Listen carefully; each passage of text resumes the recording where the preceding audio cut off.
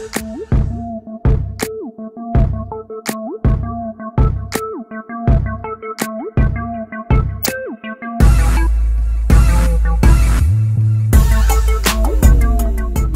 大家好，我是警察姐姐。今天呢，要来介绍警察巡逻车，还有台北市政府警察局妇幼警察队的巡逻勤务。现在呢，我们就来找一个小队长来帮我们大家做介绍吧。小队长好。你好，大家好，我是呼呼小队长，耶、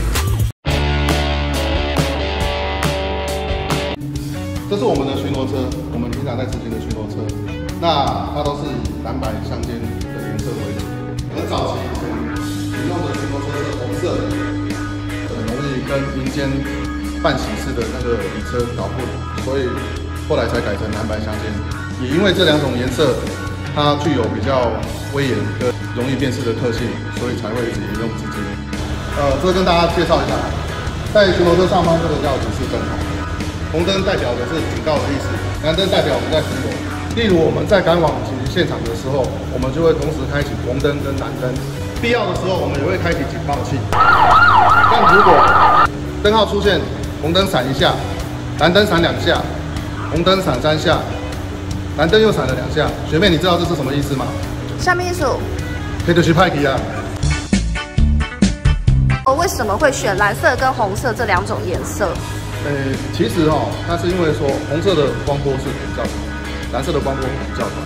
然后当这两种光它在扫射的时候，其实对人的眼睛的反应是最大的，尤其是在夜间的时候。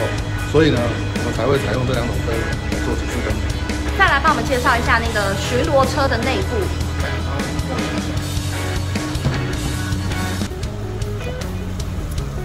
我们巡逻车内部配备有无线电车窗台，然后上面还有蜂鸣器，然后这边还有扩音器。来，麻烦帮我们示范一下。前方车号三九一 Q 大家看一下哈，这是我们的产品过主要是我们前方在处理聚众斗殴的时候可以使用的，所以才会每部车都有这把。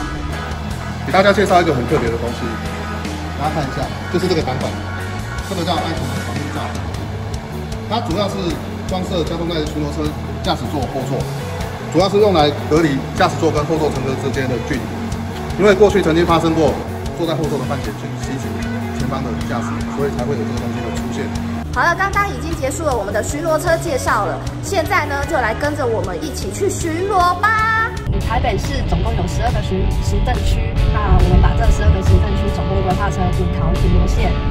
我们开巡逻车巡逻，巡逻的路线是以学校周边为主，每一区的幼稚园、安亲班、国小、国中、高中、高职，甚至是大专院校，我们都会去把它串联成巡逻线。呃，我们今天会巡信义区啊、大安区跟湖山区。呃，我们主要是去学校周边巡逻，看看有没有可疑的人跟车在学校附近周边徘徊。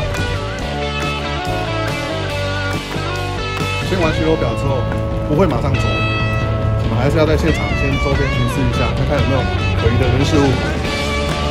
确定没有问题之后，再走